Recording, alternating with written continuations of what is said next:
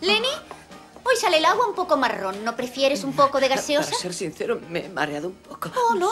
Ven a sentarte. No, no, no lo entiendo. Sabes, yo soy una persona muy saludable. ¿Sí? ¿Haces gimnasia? No de un modo muy ortodoxo. Yo tampoco soy religiosa. Mis padres eran episcopalianos. Ah, ¿en serio?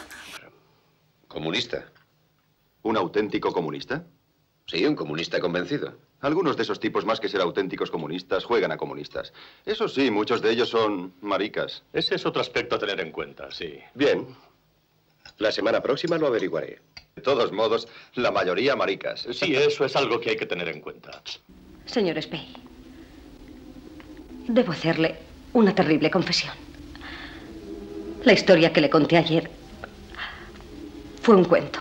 Bueno, no creímos exactamente su relato, señorita. ¿Cómo se llama? ¿Wonderly o LeBlanc? En realidad es O'Shaughnessy, Brigitte O'Shaughnessy. No nos creímos exactamente su relato, señorita O'Shaughnessy. Creímos en sus 200 dólares.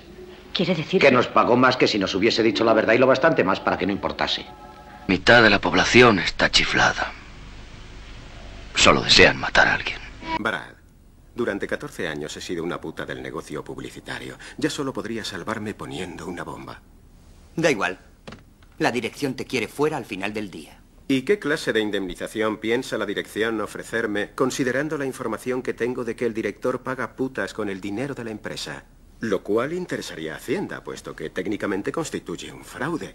Seguro que a alguno de nuestros anunciantes y publicaciones rivales les gustaría saberlo también. Sin olvidar a la mujer de Craig. Diga, señor. Oye, esclavo, diga, ¿qué tienes para cenar? Todo lo que usted quiera, señor. Puede usted tomar jugo de tomate, jugo de naranja, jugo de uva, jugo de piña. Está bien, le sacaremos el jugo a la compañía. Miles de hombres tienen armas, pero solo hay un Johnny Rocco. ¿Cómo se explica eso? Porque él sabe lo que quiere, ¿verdad, Rocco? Claro. ¿Y qué es? Dígaselo, Rocco. Pues yo quiero... Quiere más. ¿No es así, Rocco? Sí, eso es. Más. Eso es, quiero más. ¿Tendrá alguna vez bastante? ¿Tendrá, Rocco? Nunca tuve bastante. No, supongo que no. ¿Por qué? ¿Qué? Erguitis, no se meta con mis sentimientos.